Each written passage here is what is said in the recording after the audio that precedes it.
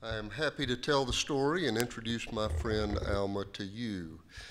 Some of you might remember 2017, uh, I was a part of uh, the Leadership Atlanta program. It's roughly 80 people a year get selected into that program, and it's uh, uh it, another chapter starting this, this August, and I'm going to be involved again in that. But uh, but my year to go through, I graduated in, in 17.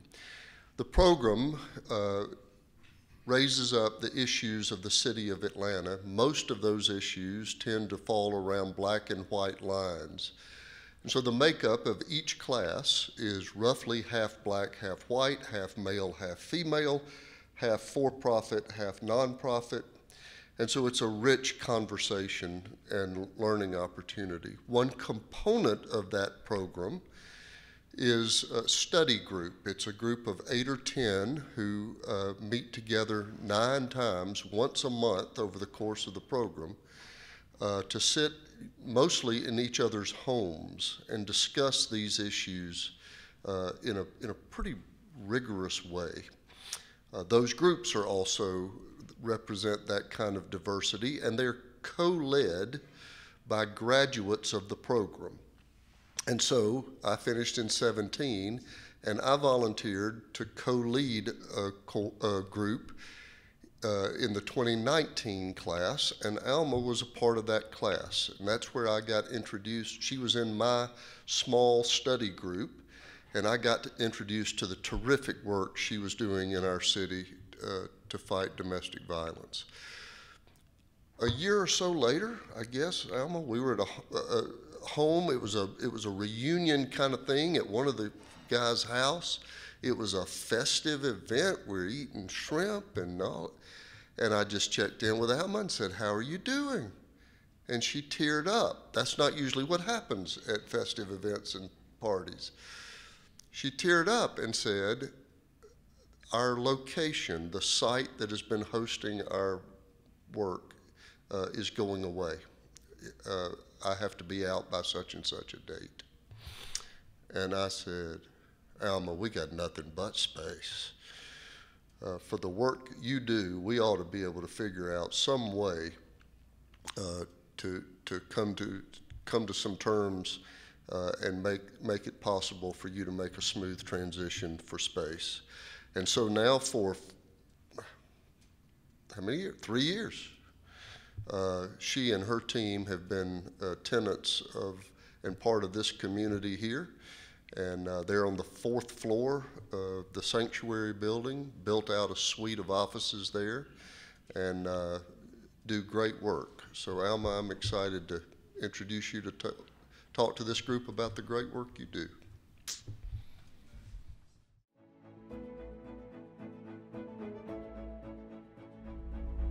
The Alma Domestic Violence Foundation's mission is to educate, empower, and celebrate survivors of domestic violence and help them achieve economic and self sufficiency. Our goal is to provide survivors with the tools they need to break the cycle of domestic violence. Our signature events include Dinner for Divas, which is our annual fundraising gala that honors over 150 survivors of domestic violence. The National Survivors Conference is an annual event that seeks to empower survivors to achieve self sufficiency, promote healthy living, and train them in the areas needed to become independent and financially capable of supporting themselves. Walk a Mile in Their Shoes is a 5K run or one mile walk where participants come together to advocate against domestic violence. Those who choose to walk are paired with a survivor who shares their personal story with them. The Alma Domestic Violence Foundation also offers classes to domestic violence survivors that reside in shelters. Too often, survivors of domestic abuse feel helpless, hopeless, and find themselves back in abusive relationships. In these classes, participants learn skills and strategies that empower them to emotionally break free from guilt and toxic relationships and begin a healthy relationship with themselves.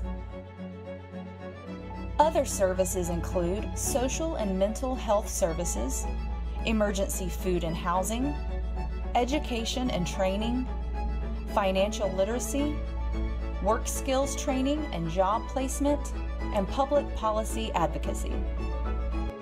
Your donations and support help change and save lives. My name is Alma Davis. I am the founder and CEO of Alma G. Davis.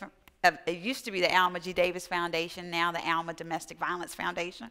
Um, I am a domestic violence expert with over 20 years of service, 25 years of service um, in this space. Uh, I am a crisis interventionist. Um, on all the dramatic stuff that we do and the things that we see, I do have a fun side of life. I love fishing. I love uh, playing spades, and I also love traveling. Most of all, I'm, I'm a pretty happy person. Um, I, I, like to enjoy life, uh, and at the end of the day, I do the work that I do because this has been a part of my life, because I am a survivor as well.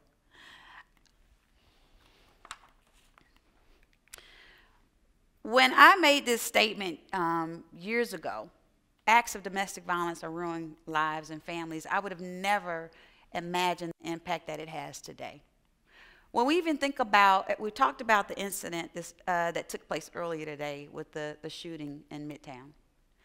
More often than not, and we'll see if I'm right, when you have a shooting where you have a male that has shot five women, it's more than likely that has some type of tie into domestic violence in some kind of way. So it's going to be interesting to see how this thing plays out. And we'll remember tonight, and we'll see if I'm right. I don't take this, this, this lightly at, at all, this statement. Uh, women, men, and children are crying out for help. And what we do is we offer them encouragement, hope, and the tools they need to rebuild their lives. This mission that God gave me was so um, unexpected. I would have never have thought I would have ever been in this field. Although I grew up in a household of domestic violence, uh, which I saw every day, uh, I would have never thought I would have been doing this work. I am a survivor of child abuse.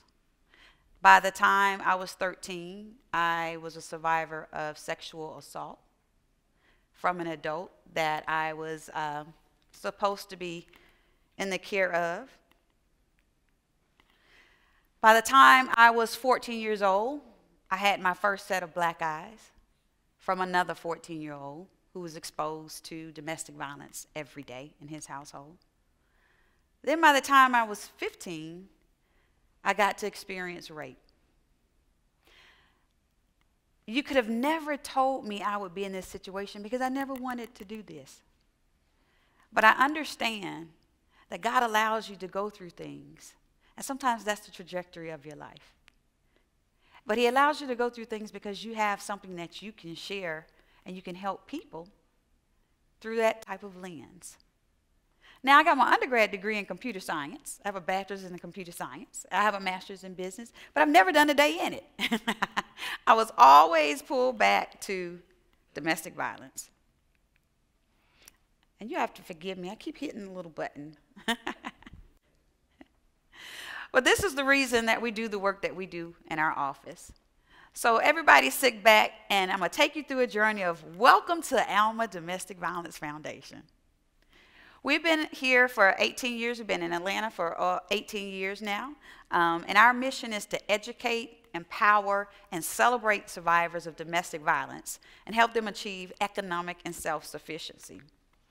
Our long term goal is to aid in the, the, eradication of domestic violence globally. And we actually got to start our global opportunities last year. Last year, we were um, reached out to from a client in South Korea that found us, um, had heard about our work, found us on the internet through Instagram, reached out, and we worked three weeks with the South Korean embassy to bring her back here to Georgia, get her stable. She now has her own job, bought her first car, and the rest is history. So we are effectively being a part of the global commu community. Our services include uh, social and mental health, Everybody's been talking about the mental health. We, we are one of the very few organizations that through us you can get one year of licensed therapy for free.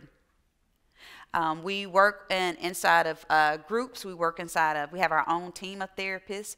Um, we do services such as legal, safety planning. Um, we do a lot of emergency food and housing. We actually uh, dove into the whole emergency housing situation during COVID. And during COVID, we spent over $40,000 in less than two months helping domestic violence clients get some type of safety um, housing wise. $40,000 in less than two months. If you think about the amount of people that were calling saying, hey, I need to escape, but I can't go. $40,000. Uh, we do a lot of education and training. Um, I bet you all didn't know that over $8 billion a year is lost in corporations due to direct incidents of domestic violence. $8 billion. 5 billion is the cost that it costs the company for incidents, what we pay out through the health insurance, those of that nature. And the other 3 billion is due to lost productivity. Because if you're not at my job, I lose money. So we work with corporations, we work with schools, we work with um, colleges to sort of teach and train about the effects of domestic violence. Um, how do you know if domestic violence is taking place um, or in your company? Um, and things of that nature. So statistical wise, domestic violence, they say that it's one out of four women, one out of seven males. But only 5% of cases are reported. So when you bring in the other 95% that we don't talk about or we don't hear, the true numbers are more one out of every two women and one out of every four men will experience some type of domestic abuse in their lifetime.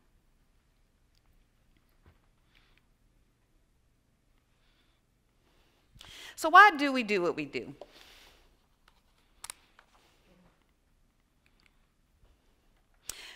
So during COVID, we all heard the stories, right? Everybody's locked in the house. We were locked in the house for almost two years. And I made a prediction, and I was so right. I said, one, we want to see a lot of pregnancies. Two, we'll see a lot of divorce. Because we found out, a lot of times people found out, you know what? I don't like you as much as I thought I did. You're normally going to work. I see you at night, right? And the last prediction was we would see a tremendous increase of domestic violence. When you think about all the stressors, you had people with your kids were home all day long. We had parents becoming teachers that didn't have a, didn't have a clue of, of what to deal with, you know. Um, you had the, the financial stressors. People were losing money. People were losing their lives. All of these pressures. And I was so right. We alone saw an 82% increase in the clients that we served during, during uh, COVID. We saw so many clients that we end up having to rebrand our whole organization and changing our name from the Alma G. Davis Foundation to the Alma Domestic Violence Foundation. The reason being, our youngest client during COVID was seven years old. So we rebranded all of our programs. Our normal entry age was 13, but now all of our programs start as, at eight years old. So imagine having to sit in classes and sit in group therapy with all of these little kids from different families and backgrounds, and they've been affected by domestic violence. It, it was it's something to imagine. It's something to see. One of the things we always want to make sure is that we look at um, domestic violence holistically. Why do people stay? The number one reason that people stay in domestic violence uh, situations is due to finances, the lack of money or the control of money. And so we see that so many people, because uh, whatever that need may be, it may be they have children, they're afraid to leave. We deal with uh, people who, are, who stay in domestic violence situations because they have animals that don't, they don't want to don't want to leave there. Um, but we take all of those little pieces and we we've created programs to address all of them. And so our holistic approach, we call it from rescue to renewal. And there's nothing you can bring to our table that we don't have a solution for. Can't speak English? It's okay. We'll, we'll find, we have find translators for you. Don't have an ID? It's okay. We'll help you get it. Um, this is the critical work that we do, making sure that people have safe housing, food, the basic needs, and then making sure that mentally they are stable, and then we look at long term, their housing. One of the great things we like to address um, is the financial, our financial literacy classes. And we, we partner, we, we find innovative ways to partner. We partner um, with banks. Uh, this is a picture of us inside of one of the shelters that we work with, with Truist Bank. Uh, that was supposed to be a six weeks course on financial literacy, the basics, writing a check, budgeting, what, how do you do a savings? That six weeks course turned into nine weeks, and we had to say, hey, we can't keep coming back right now. But the ladies in the class were so excited because we went over things, simple things that you and I might know that they, they don't know, that they don't experience, that they didn't have experience in. So, like credit repair, your credit card. We actually pulled everybody's credit, and each person sat one on one with one of our team members and with bank members. Uh oh, I'm still hitting stuff, sorry. Um, and we went through every item on their credit and got on the phones with the creditors because a lot of times abusers have messed up that, that, that survivor's credit. Again, it's all about finances, is the control of. And so we love doing simple things like this, making you understand so that you can have long-term stability and not have to have to rely on someone that's volatile. Last year, our program impact, we saw a total of 360 clients. We had over 282 hotline calls, and we did a total delivery service of over 2,000 services. That's a lot. And that means the need is great. The work that we do is so needed. One of the fun parts of my job that I get to do is the whole public policy uh, advocacy. I tell people, listen, I could care less whether you're Democrat, Democrat, Republic, Independent. Uh, domestic violence has it doesn't care, and it affects it affects all all avenues. Um, and so, why it's so important that we do this work um, in the public policy space is helping individuals and helping the people in charge understand why what we do is so needed. I have had the honor to uh, the honor and privilege to be um, nominated as a change maker through the United States uh, Women's Summit in Washington, D.C., uh, as well as um, I actually got an opportunity to go to the White House and talk about domestic violence and what they wanted to hear my, my ideas on how do we solve this issue. Um, I've had the opportunity working here in Atlanta with the City Council, uh, working with uh, First Lady uh, Marty Kemp,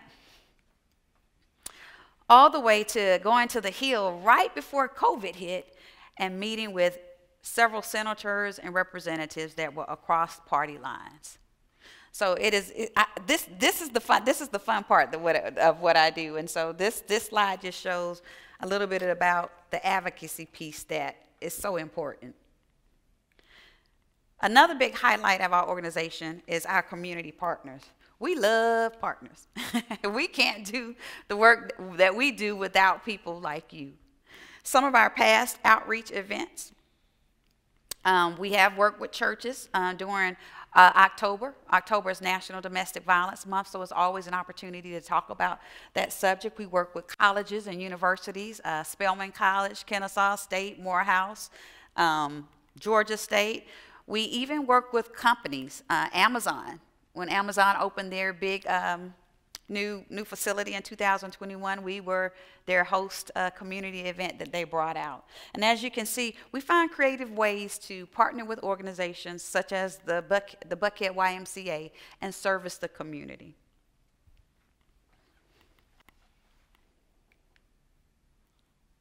And these are just some of the, the pictures here. Um, we uh, so like for instance Spelman they had um, their students did a whole entire uh, feminine hygiene drive and we knew nothing about it and we got a phone call and they said hey we want to bring some things with it. Those some things were 10 gigantic bags of brand new um, feminine hygiene items that students purchased on their own and had them mailed in. So that meant a lot to us to know that even students on that level are thinking about how they can help. Two of our, um, some of our signature events, um, you saw a little bit on the, on the video. We do a, a gala called Dinner for Divas every year. Um, the last one that was in person was right before COVID hit at the Georgia Aquarium. And this event is so unique. It's where we honor over 200, it used to be 150, now it's over 200 survivors of domestic violence that all live in shelters all across the state of Georgia. They come in for a day, they have no clue of what they're getting ready for. So you have over, we have over 200 hairstylists, makeup artists. Um, they get the nails done. They have formal gowns. If you ever come up to our office, we got a whole back room of nothing but formal gowns that we, we get donated or, or people collect, and the shoes and the dresses, and they don't have a clue of what they're getting ready for. And when they walk the red carpet that night, that's when they find out that everybody in that room is there to honor them. And our whole thing is if I can show you how beautiful you are on the inside, then I can show you how beautiful you are on the outside. I'll walk a mile in their shoes. That's a fun favorite. That is our 5K run, one mile walk. And for those of you all that do not run, like me, I enjoy the one mile walking part so I can quickly leave the start line and quickly come back. but that event is held every October as our kickoff for the National Domestic Violence Month. We actually um, do our, our courses on the Beltline. And I saw that you all are in, engaged in the Peachtree Road Race. Well, we have now been, we are an official certified um, run a race that people can run in our 5K and get certified for the for the Pe Peachtree Road Race. So we're really excited about that. Um, but we do utilize the Beltline. People come out, as the video said, is so unique because if you are a survivor, you get the opportunity to walk and share your story. It was tremendous the first year we did this um, because we had the camera, the cameramen out, the news crews. After it was over, there was a gentleman that left a message on my office phone he was actually a cameraman for one of the news stations. And he said this was the first time in his life he'd never told anybody that he was a survivor of domestic violence because it affects men too. But when he saw people walking, people sharing, it gave him the courage for the first time in his life to share his story. And so that let me know what we're doing is working.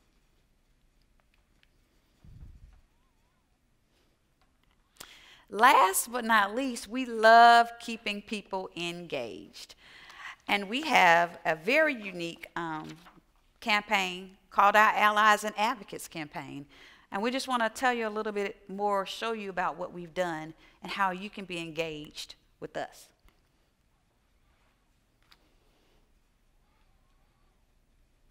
Domestic violence has reported that one in four women and one in nine men experience severe intimate partner physical violence, contact sexual violence, and or stalking.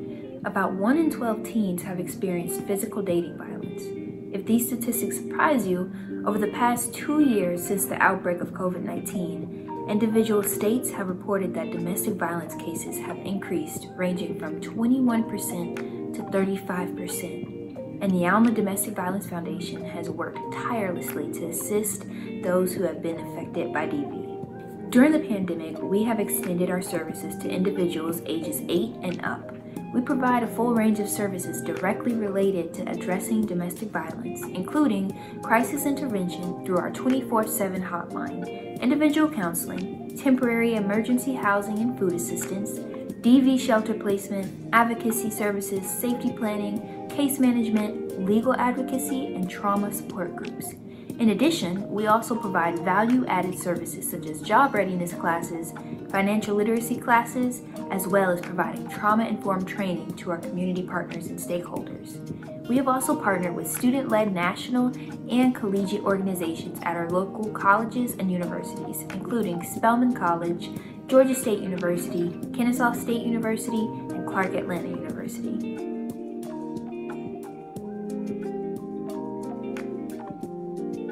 Domestic violence continue to increase, so has the need for critical resources to protect and assist victims and survivors.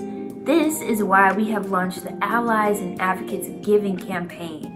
Allies and Advocates gives individuals, small businesses, and corporations an opportunity to build a safer, stronger, and more equitable community for those impacted by domestic violence. From providing a safety planning kit to covering three nights of temporary housing, your donations and contributions matter. To give, please visit our website at almadvf.org slash donate or text GIVE to 678 324 4676. Leaving an abusive and violent environment may be the hardest part, but with your support, we can give survivors access to shelter and life changing resources that'll take them from rescue to renewal.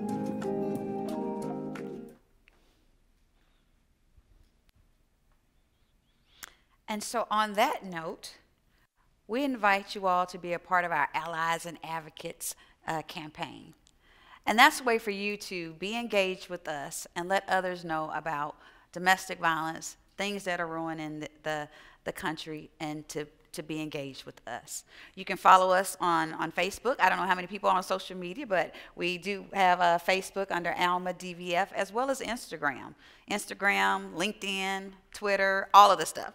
Um, it's under Alma underscore DVF. Um, and we invite you to volunteer. Come out to some of our special events. We have people coming through all the time. Even our phone company, Nextiva, when they called, they were like, hey, well, we keep handling and working with you all. What do you do? And when we talked about what we did, they came and worked with us to help sort dresses, as well as just two weeks ago, we had Accenture, um, Accenture to come out and send their employees. So we have plenty of opportunities to volunteer. We have plenty of opportunities to ask for, for donations, whether that, uh, that's formal dresses, shoes, things of that nature. And more than, more than anything, we ask people to give. It's important to us because every service that we do is free. Everything that we do is free, and we cannot continue this important work without funding and without support. So, on that note, I ask you to be a part of our team. Be a part of the Alma Domestic Violence Foundation. Uh, we look forward to it. We thank you all for the support, and we're going to be here for a long time to come. Thank you.